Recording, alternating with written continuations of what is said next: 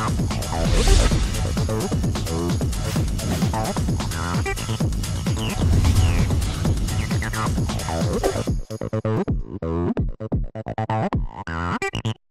Os parlamentares iniciaram a sessão desta terça-feira votando o projeto que atualiza a lei que determina a busca imediata de jovens menores de 16 anos e pessoas com deficiência desaparecidos. A complementação da norma estabelece que a polícia deverá comunicar imediatamente o desaparecimento aos portos e aeroportos, à polícia rodoviária e às companhias de transporte interestaduais e internacionais, fornecendo todos os dados necessários para a identificação do desaparecido. O projeto do deputado Daniel Librelon foi aprovado e segue para a análise do governador. O governo pode ser autorizado a criar um plano integrado de gestão de riscos e desastres no estado do Rio. A ideia da deputada Marta Rocha é que o plano estabeleça diretrizes de trabalho com planejamento para curto, médio e longo prazo para implementar políticas públicas destinadas à prevenção de desastres. A proposta foi aprovada e segue para a análise do governador. A ideia desse plano surgiu exatamente quando nós assistimos aos graves danos ao meio ambiente ocorrido na cidade de Petrópolis no início do ano.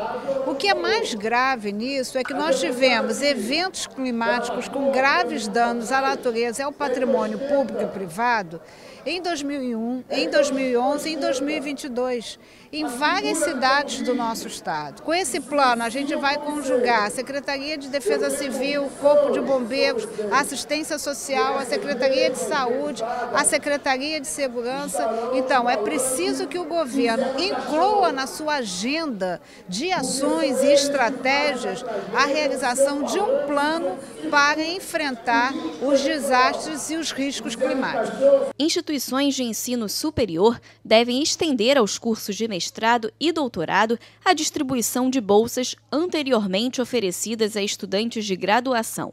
A proposta apresentada pelo deputado Carlos Mink altera a lei de concessão e acúmulo de bolsas por instituições estaduais de educação superior para o desenvolvimento de atividades de ensino, pesquisa e extensão universitária.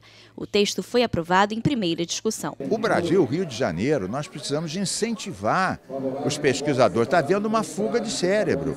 O governo federal, infelizmente, está metendo a tesoura no CAPES, no CNPq você desmonta uma equipe dessas, depois para remontar, quantos anos, quanto dinheiro a gente investiu? Então é fundamental que os nossos mestres e doutores fiquem aqui e desenvolvam as melhores pesquisas que sirvam à saúde, ao ambiente, ao nosso povo. O deputado Anderson Moraes quer incentivar o turismo histórico no estado do Rio o parlamentar propõe alterar a legislação estadual e incluir circuitos turísticos criados para narrar os eventos históricos do período monárquico.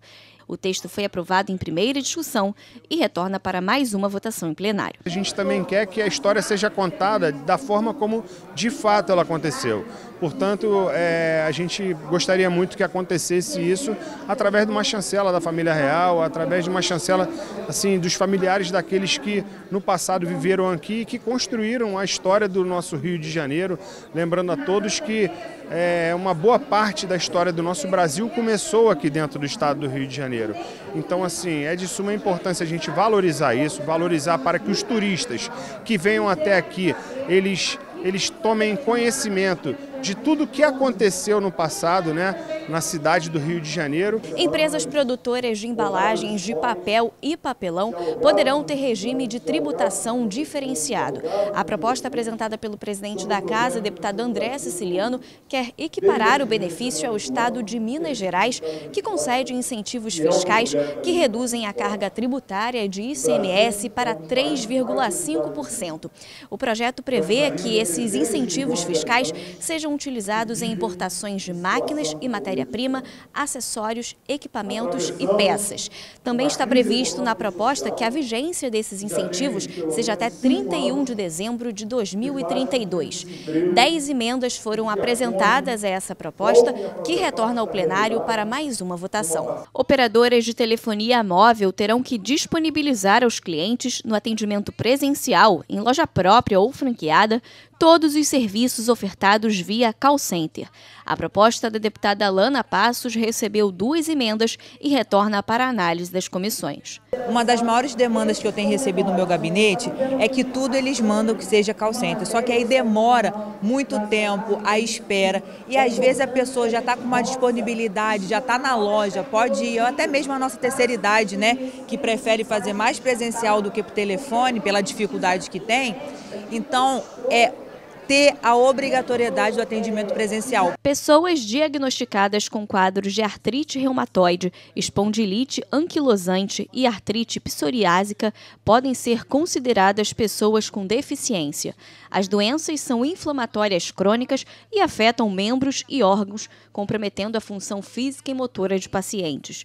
A proposta do deputado Renato Zaca recebeu quatro emendas dos parlamentares e retorna para mais uma discussão. Quem convive, quem tem esse tipo de, de doença é, que afeta o dia a dia, até para a pessoa ir trabalhar, acordar cedo, cuidar de filho, filha ou filho que tem, é uma doença degenerativa.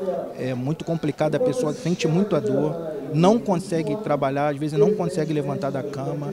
E o nosso intuito aqui é o quê? Que a gente consiga colocar eles no patamar para eles terem é, um acesso mais rápido, eles terem a, quanto mais tempo, quanto mais rápido, desculpa, você acelerar e você adiantar o tratamento, atrasa mais ainda é, o avanço da doença.